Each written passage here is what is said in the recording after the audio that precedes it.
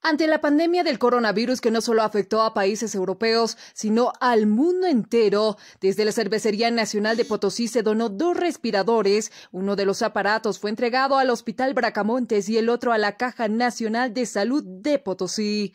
Los representantes de la empresa afirmaron que esta lucha es de todos los bolivianos y llamaron a unir fuerzas para apoyarnos solidariamente. Los dos equipos tuvieron un costo de más de 51 mil dólares.